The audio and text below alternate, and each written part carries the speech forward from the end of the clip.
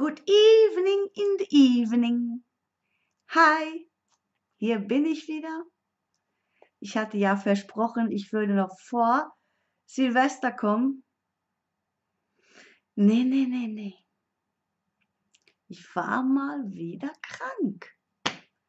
Ich hatte pünktlich am zweiten Weihnachtstag lag ich flach. Meine Mutter war krank, ich war krank und es ging gar nichts. Flach. Ich war wirklich außer Gefecht gesetzt. Ganz ehrlich, ich war außer Gefecht gesetzt. Und jetzt geht es mir besser und ich habe gedacht, du musst jetzt unbedingt ein Video machen. Ne? Und allen herzlich mal, herzlich mal, allen mal frohes Neues.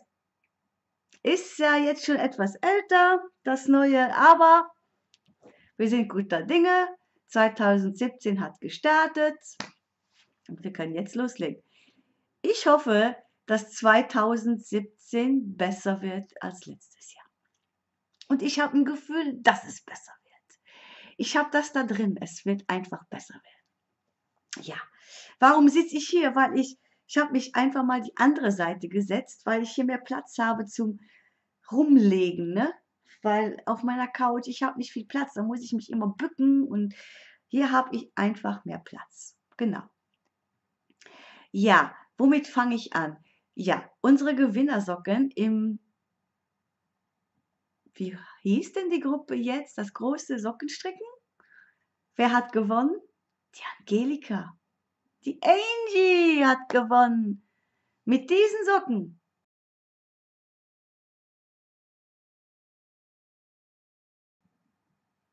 Wenn ich es jetzt fertig gebracht habe, es reinzusetzen, seht ihr die Socken hier. Wenn nicht, am Anschluss des Videos. Dann hat die Angie gesagt, ja, ich habe aber schon so viel Wolle, ich möchte keine Wolle haben. Aber den Haken möchte sie haben, weil Olli ähm, hat ja äh, den Haken gespendet für unsere Truppe. Und ähm, da habe ich gesagt, ja, kein Problem, Angie, dann geben wir das dem zweiten Platz. Und auf dem zweiten Platz waren zwei Leute. Das war die Dagmar und die Medin. Und die bekommen jetzt den zweiten Preis, das heißt die Wolle. Und die haben sich tierisch gefreut. Und die Socken waren alle, aber wirklich alle super schön, Leute. Also es ist keiner ein Verlierer. Jeder hat es geschafft, seine Socken fertig zu haben. Nur ich nicht, ne? Ich natürlich nicht. Ja. Und ähm, jetzt haben wir die Gruppe ja behalten. Sie heißt jetzt Socks in the Box. Und das ist eine tolle Truppe, deshalb wollte ich sie nicht löschen, weil die sind so lieb zueinander und ich finde, das ist so motivierend, weil jeder mag im Grunde Socken stricken, aber man verschiebt es immer so. Man nimmt immer andere Projekte dazwischen und irgendwie bleibt dann das Sockenstricken liegen. Und so sind wir motiviert, jeden Monat ein paar Socken zu stricken. Ob jetzt für sich selber oder schon als Geschenk. Ich werde nur Geschenke stricken. Also, dass wirklich an Weihnachten jeder mal neue Socken kriegt. Ja, genau. Und in Socks of the Box, in the Box braucht ja jeder eine Kiste. Ich habe mir diese Kiste hier besorgt. Ist nichts Spektakuläres. Eine ganz einfache Kiste, aber ich finde, sie sollte ja auch als Deko in die Wohnung passen. Ne? Deshalb fand ich diese sehr toll, passt sehr gut zu meiner Einrichtung und deshalb habe ich mir diese dann gekauft. Da werden jetzt alle Socken reinkommen. Ich hoffe, ich schaffe mehr als zwölf, aber ich hoffe auch, dass ich mal die zwölf schaffe. Ne? Ich wollte natürlich mehr weil ich wollte meine Mutter besocken, meinen Vater besocken, meinen Bruder besocken und meine Schwägerin besocken. Das sind vier. Und vier geteilt durch zwölf, das wären drei Socken. Ah nee, die Omi noch. Die Omi, jetzt hatte ich die fast vergessen. Die Omi wollte ich noch besocken. Und mit zwölf geteilt durch fünf, das funktioniert nicht. Also müsste ich schon, ich wollte schon drei Socken pro Kopf machen. Das heißt 15 Socken. Mhm. Ist mein Plan, ne? Ob ich das natürlich so hinkriege? Naja. So, Dann wurde ich angefixt. Mhm. Ich habe mich gewehrt, Leute. Ich sag euch, ich habe mich echt gewehrt. Mit Händen und mit Füßen. Ich habe mich gewehrt. Ich habe gesagt, nein, nein, nein. Ihr kriegt mich nicht, ihr kriegt mich nicht, ihr kriegt mich nicht. Und ihr habt mich gekriegt. Ich bin schwach geworden. Ich bin im Grunde schwach geworden, als ich Ellis Sternkissen sah. Mhm. Da hat es mich erwischt. Ich wollte auch ein Sternkissen haben. Ja, und ich habe schon fertig. Ich war ja krank, ne? Da ging nichts mit viel rausgehen. Ich war zu schwach, ehrlich. Ich war dieses Mal so schwach und schlapp. Also ich habe alle zwei Stunden habe ich mich hingehauen zum Schlafen. Ne? Gott sei Dank arbeite ich noch nicht. Ne? Gott sei Dank. Ne? Ich weiß nicht, ob ich mich so zur Arbeit hätte schleppen können. Ne? Da hätte ich gemusst, dann wäre ich auch vielleicht gegangen. Ne? Und dann Sternenkissen, ja, Sternenkissen. Ich habe dann auch mein Sternenkissen gemacht. Ich habe mein Sternenkissen auch aus Sockenwolle gemacht. Ich wollte erstmal ganz einfach halten, weil ich natürlich auch wieder möchte, dass es in meine Wohnung passt. Weil es hier nicht so viel Buntes gibt, habe ich noch nichts Buntes gemacht. Aber ich werde, es wird nicht mein letztes Sternenkissen sein. Nee, stimmt nicht. Und ich zeige euch jetzt mein Sternenkissen. Ist mein Sternenkissen nicht schön? Das ist auch, äh, das ist Sockenwolle, das ist Regia. Irgend so ein ähm, äh, Grau mit Weiß meliert und die Spitzen habe ich in ähm, Blanc Cassé gemacht. Und in der Mitte habe ich so, das ist so richtig gut puffig, in der Mitte habe ich dann einen Knopf gemacht auf beiden Seiten. Einen dicken schwarzen Knopf. Und ich finde mein Sternkissen super schön. Ja, genau.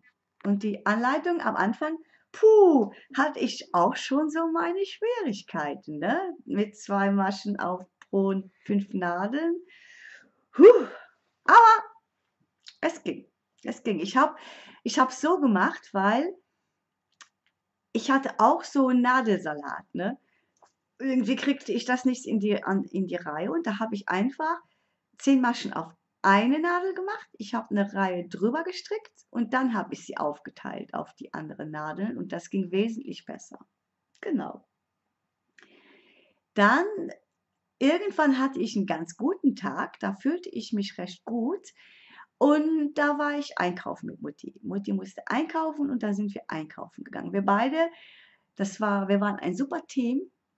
Wir haben gehustet, wir haben geschnauft wir sind da durch diese große Mall gelaufen. Also, uah, wir waren ein super, wir haben bestimmt super ausgesehen, wir beiden mit so einer Nase, immer am Hus, am Abhusten, ne?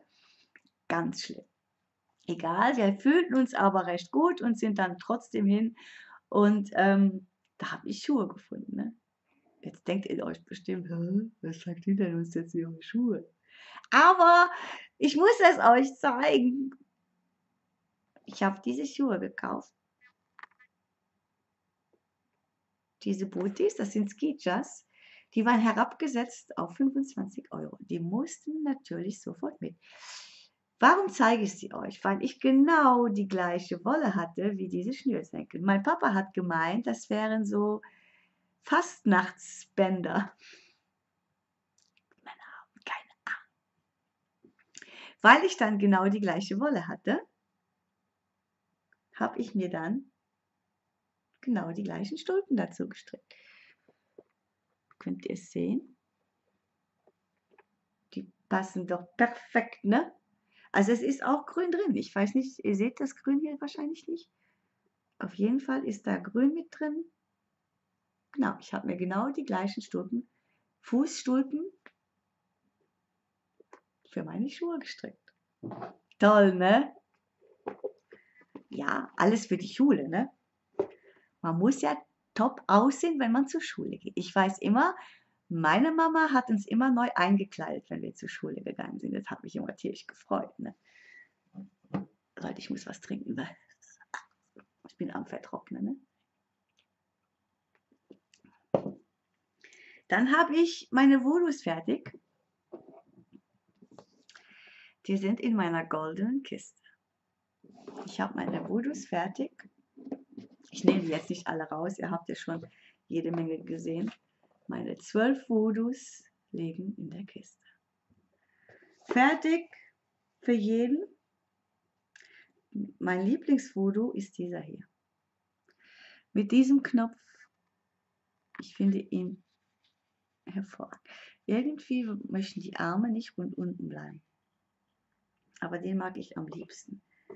Aber das sind jetzt meine Voodoos, die sind fertig. Die können dann auch mit zur Schule. Zwölf Voodoos. Fertig, fertig, fertig. Ich bekam auch was geschenkt. Ich bekam ganz viel geschenkt. Ich hatte gewichtet mit den Schwedenbomben. Meine Wichtelmama war die Steffi und ich habe ganz, ganz viel bekommen, weil ich habe zweimal was bekommen. War nämlich so, sie hatte ihr Päckchen abgeschickt und es kam einfach nicht an. Ne?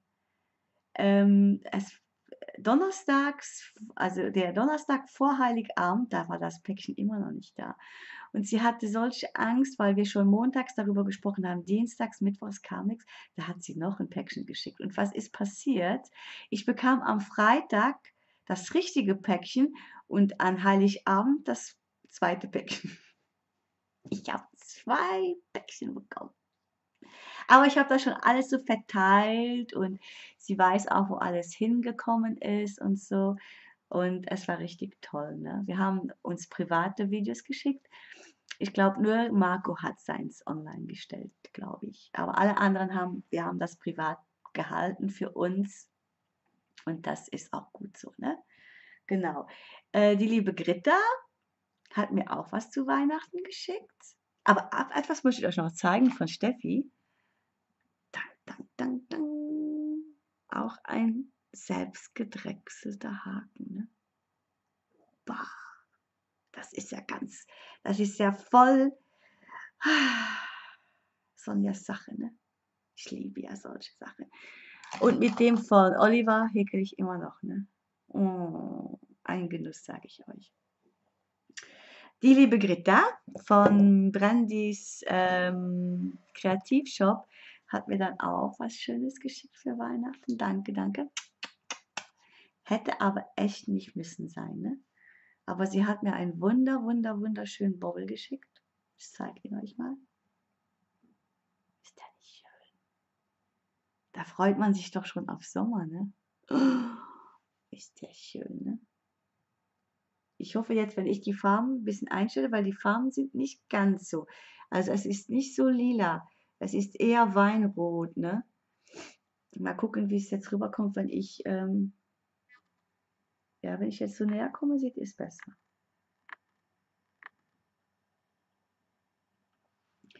Vielen, vielen Dank. Dabei hat sie mir noch jede Menge, jede Menge, schaut mal. Das sind alles Maschenmarkierer die die Sonja gut braucht, weil die Sonja verschluselt ihre ja immer, ne?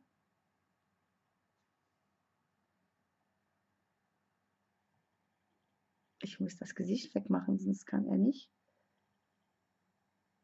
Kamera! Ehrlich jetzt, ne? Ich krieg die Krise mit dieser Kamera, ne? Warum fokussiert diese Kamera nicht?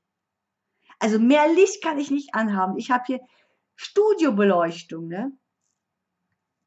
Menno.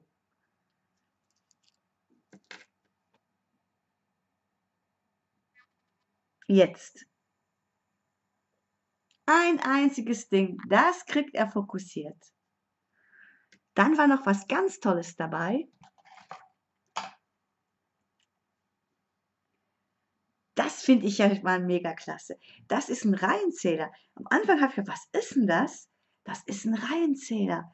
Den kann man sich so auf den Finger machen und dann immer drauf drücken, wenn man eine Reihe beendet hat. Das ist digital und man kann es wieder zurück auf Null setzen. Ganz toll. Super. Ja, habe mich tierisch gefreut. So, was äh, habe ich angeschlagen? Ich habe angeschlagen meine Januarsocken. Ah, ich habe dich angeschlagen, ne? Aber erst kurz, ne? Kurz ehe ich das Video hier gedreht habe, habe ich sie angeschlagen. Aber auch ganz viel Neugierde war da, weil das ist eine Färbung von Daryl auf Facebook Bobby Q. Und ich wollte gucken, wie die sich ähm, mustert. Und traumhaft, traumhaft. Diese Socken werde ich machen für entweder meine Mama oder meine Schwägerin. Die haben beide die gleichen Schuhgröße. Das ist die Wolle, gewickelt.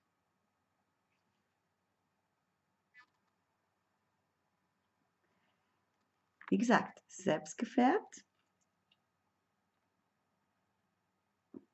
Und so sieht das dann aus. Angestrickt. Toll, ne? Ich find's toll. Und die Fersen werde ich natürlich in diesem Tool machen, weil das auch da drin ist. Ferse und Spitze. Ich, äh, übrigens, ähm, die Ellie sagt ja auch immer mit diesen verschränkten, ich mache das immer. Ich mache immer mein Bündchen mit verschränkten Maschen, weil ich das, ich finde, das sieht einfach schöner aus, wie normales Bündchen. Ja, ich mache das auch immer. Genau, und ich freue mich, die jetzt schon weiter zu stricken. Der, siehst du, Daryl? Die werden klasse. Dann habe ich äh, natürlich dieses Mal äh, mal wieder einen Zickzackschal für mich. Dieses Mal bleibt er bei mir. Dieser Zickzackschal. Ne? Habe ich wieder angefangen. Dieses Mal nur für mich. Nur für mich. Boah, die Farben sind so langweilig hier in der Kamera. Also ich hoffe, das ändert sich, wenn ich jetzt ein bisschen verarbeite.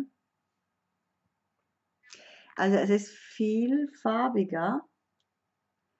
Auf jeden Fall ähm, ich, also stricke ich wieder mit meinen normalen. Äh, wie heißen die denn? Ah, die lang, ich weiß es nie, ne? Ich behalte diesen Namen einfach nicht. Baby Alpaka oder so. Genau. Und stricken tue ich das auf meinen neuen Chagus. Chagus? Chiagus? Chagus oder so heißen die chinesischen Dinger, die Marco ähm, ausprobiert hat. Und dann muss die Sonne das natürlich auch ausprobieren. Und was soll ich sagen? Ich finde sie gut. Ich finde sie sogar besser wie die, ähm,